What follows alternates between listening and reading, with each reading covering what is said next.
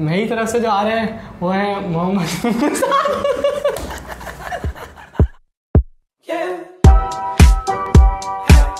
welcome back to the hungry sportsman तो आज हम जिस मैच के बारे में बात करने वाले हैं वो सबसे बड़ी राइवलरी कराची वर्सेस लाहौर की जो कि संडे को खेले जाने वाला है। तो राफे मेरी टीम है कराची किंग्स और आपकी? मेरी है लाहौर कलंदर और हम बढ़ते हैं स्कॉट कंपैरिजन के जानब।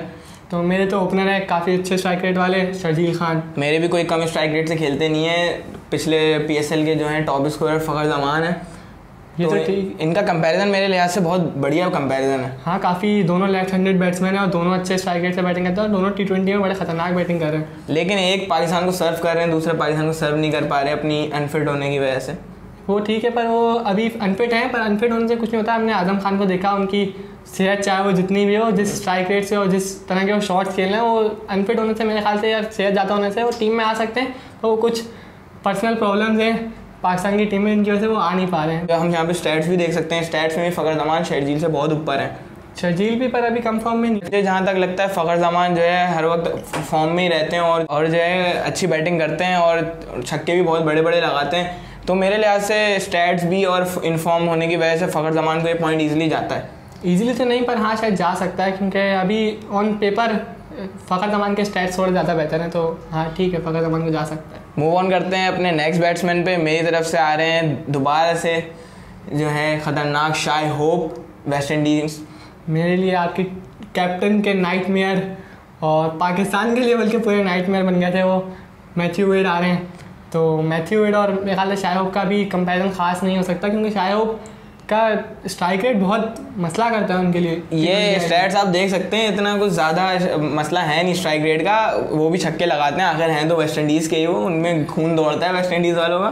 पर मैथ्यू वेट के मतलब अभी फिनिशिंग और फिर वो जैसे अभी खेल रहे हैं उनको सही से मौका मिला नहीं है अभी सही से वो अपनी पूरी इनिंग्स खेल नहीं पा रहे पर वो जितना भी खेलते नज़र आए वो एक अच्छे टच में नज़र आ रहे हैं। मेरे ख्याल से वो अच्छी फॉर्म दिखाएँगे अभी। शाय होप ने भी काफ़ी छक्के वगैरह लगाए हैं। वो भी पहला पीएसएल है उनका वो भी अच्छा खेलेंगे मुझे लग रहा है। आई होप कि वो अच्छा खेलें पर अभी जो ऑन पेपर भी मैथ्यू वेट बेहतर है और मैथ्यू वेट की स्ट्राइक रेट और काफ़ी जो उनकी फिनिशिंग है वो भी शाय होप से काफ़ी बेहतर वो ठीक है पर अभी उनका पहला पीएसएल है और उनका पाकिस्तान में आके खेलते हैं पहली बार देखते हैं क्या होता है। हाँ वो पाकिस्तानी बॉलर के खिलाफ थोड़ा स्ट्रगल कर जाएँगे इस वजह से और मैथ्यू वेड तो स्ट्रगल करवा देते हैं लेकिन ये पॉइंट चले मैथ्यू वेड को जाएगा।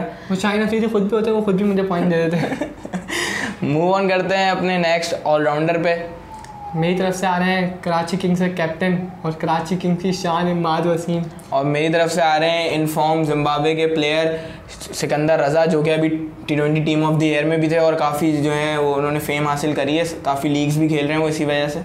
ये ठीक है, पर अभी अगर हम देखें तो इमार सिंह की फॉर्म जो उन्होंने इस मैच को छोड़ के अगर पिछले मैच में देखें, वो काफ़ी अच्छी बैटिंग करते हुए नज़र आया और काफ़ी मतलब चेंज नज़र आया है इमार सिंह की बैटिंग में। वो काफ़ी तेज़ खेल रहे हैं और अपनी टीम को संभालने की कोशिश कर रहे हैं, क्योंकि टीम संभाल नहीं पा रही है, पर टीम को संभालने की कोशिश कर रहे हैं और बॉलिंग भी काफ़ी बेहतर कर रहे हैं। अभी लास्ट मैच में उन्होंने काफ़ी अच्छी बॉलिंग करी है, काफ़ी कम इकोनॉमी से बॉलिंग करी लेकिन सिकंदर रजा जो एक बेहतरीन है, आपने देखा होगा कितने बेहतरीन बॉलिंग भी करते हैं बैटिंग भी करते हैं तो उनको उन, भली बैलेंस उनकी बैटिंग बॉलिंग दोनों। है ये तो है पर सेकंड रहता कि बैटिंग अभी इतनी ज़्यादा फॉर्म में नहीं देखने को मिली हमें। और इमार सिंह की बैटिंग थोड़ी अभी बेहतर भी है और विकेट्स भी सही लेते हैं और इकनॉमी भी कम रखते हैं। हाँ ये तो ठीक है लेकिन इमाद वसीम जो है इमाद वसीम से खेला तो जाता नहीं है। मोस्ट डक्स भी उन्हीं के हैं आपने देखा हुआ है पी में और एक डक और ले लिया उन्होंने अभी।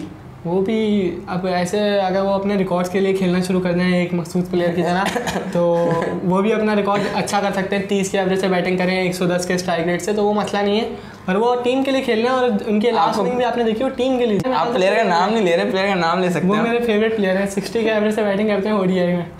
तो टी ट्वेंटी में भी सिक्सटी के एवरेज से बैटिंग करते हैं सिक्सटी के स्ट्राइक रेट से भी बैटिंग करते हैं। तो वो उनको अभी छोड़ दें उनका भी जब मैच आएगा हम उन पर बात करेंगे। पर मेरे ख्याल से इमारा सिंह की बैटिंग और बॉलिंग की वजह से इमारा सिंह को पॉइंट जाना चाहिए। जी स्टैट्स में थोड़ी बढ़तरी हासिल है इमाद वसीम को तो अब हम मूव ऑन करते हैं अपने नेक्स्ट बॉलर पे मेन बॉलर मेरी तरफ़ से कैप्टन शाहिन शाह अफरीदी।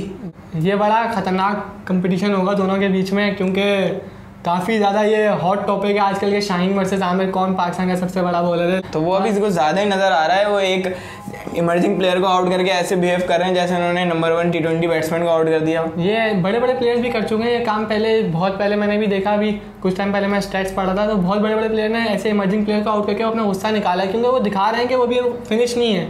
वो अभी भी 145 तक टच कर रहे हैं और उसके बाद लोग उनको बिला जाए क्रिटिसाइज कर रहे हैं दौड़ता हुआ स्पिनर और ये सब। जबकि अभी भी उन्होंने लास्ट मैच खेला लास्ट मैच में बिल्कुल एक कराची किंग्स से मेन बॉलर आपको कौन नज़र आ रहा है उनके कराची किंग्स के पास बॉलर नहीं है ये मसला है। वो मेन बॉलर है नहीं वो बस एक नॉर्मल बॉलर है। एक अंधों में काना राजा वाली बात है उनकी बस। नहीं अंधों को मैं काला राजा वाली बात नहीं है। अगर वो पाकिस्तान की टीम में भी खेलेंगे तो मेन बॉलर वही बन जाएँगे शाहीन और रऊफ जिनकी पूरा मिलके इन लोगों ने शाहीन रऊफ और नसीम इन लोगों ने मिलके जो वर्ल्ड कप में विराट कोहली को डिफेंड नहीं कर सके वो आमिर करते आए हैं। बहुत बार मरतबा कर चुके हैं और वो मेरे ख्याल से अभी भी अगर उनको मौका मिलेगा वो करेंगे। इनसे विकटें ना ली जा रही हैं ना इनसे कुछ हो रहा है। अगर इनसे विकटें नहीं ली जा रही होती ना बी पी के मोस्ट विकेट टेकर नहीं होते। उसके बाद अभी जब ये आए हैं तो भी इन्होंने दो मैचों में दो विकेटें कोई बुरी नहीं है। अभी शाइन की भी एक मैच में एक विकेट है आप कुछ लेकिन लेकिन इकोनॉमी आप देख सकते हैं आमिर ने दोनों मैचों में बहुत ज़्यादा रन खा चुके हैं। वो कभी कभी रन खा लेते हैं वरना अगर आप ओवरऑल इकनॉमी देखें तो शाइन से बेहतर ही है आमिर की।